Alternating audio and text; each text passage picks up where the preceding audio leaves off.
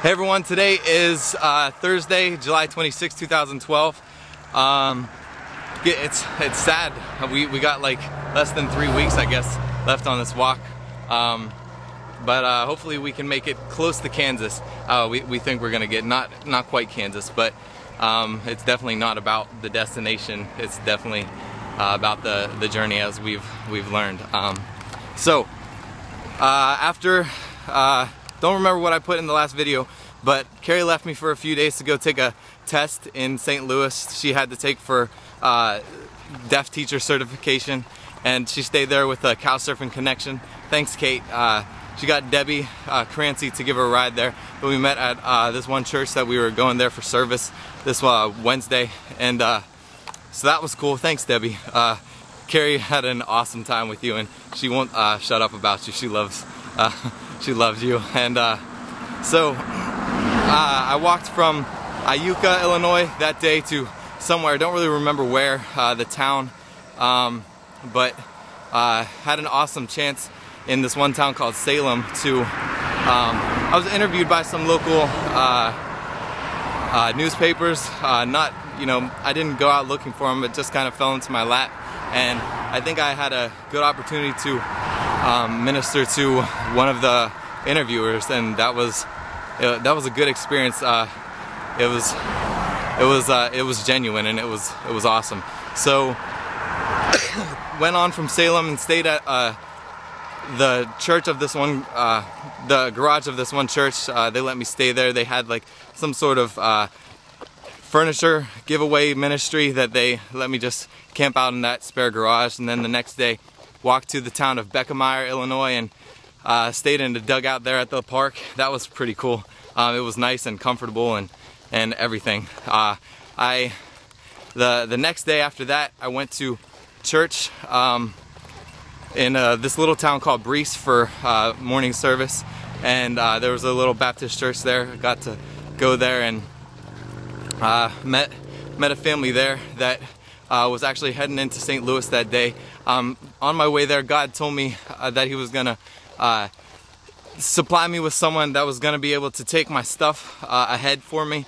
Um, I want I didn't want to carry my stuff with me into East St. Louis. St. Louis is the number one crime uh, place in the in America at the moment, and I didn't want to take my stuff through East St. Louis because it's um, it's like the worst part of St. Louis. Not that I was really afraid of uh, getting stolen, but just didn't want to be a fool about it. Uh, just you know, just being smart. And so for a few days, I was just carrying my Bible and the cross with me, and uh, didn't have anything else. Just those two things, and it was great. The, those few days just walking possessionless. It was uh, I really enjoyed that. But um, so next day I went to this youth group um, in a little town.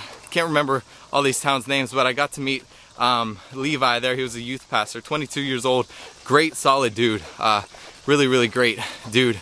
Um, hung out there with him that night, just stayed up talking, met uh, some friends there, and it was just just been awesome. Had a great opportunity to just uh, fellowship with people, just uh, be discipled by people and disciple people and just it's uh, been really great that and see what else um, the next day um, Carrie met up with me the next day to uh, walk. She was bored in the city so she met up with me. Then we um, we were walking and we got stopped by this guy who had seen us walking like more than a week before um, in uh, this town called Clay City, uh, named Ryan. Uh, so Ryan stopped, talked to us, and uh, we got something to eat with him, and it was awesome. And Carrie left me later that night as we reached the outskirts of East St. Louis, and uh, she rode the subway back into the city while I found somewhere to stay that night, and Ryan supplied me with a place to stay that night. Thanks, Ryan. It was awesome. Just a really great time uh, meeting you and your son, and that was really cool.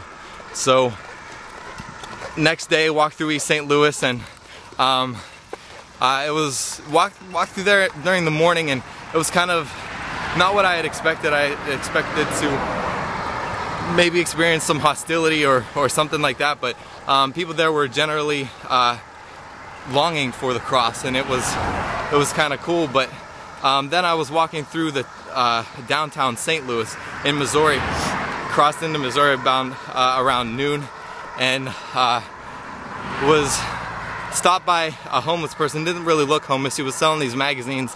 They buy for a quarter, then sell for a dollar.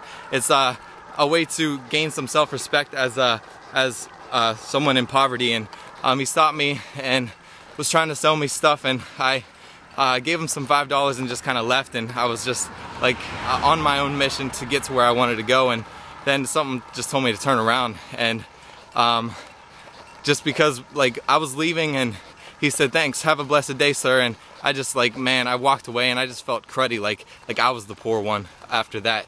And so I turned around and got to talking to him and we talked for about 20 minutes. And it was uh, just a it was just great. I, I, felt spiritually full after that and uh, gave him a little bit more money and headed on after that. Didn't really experience any hostility.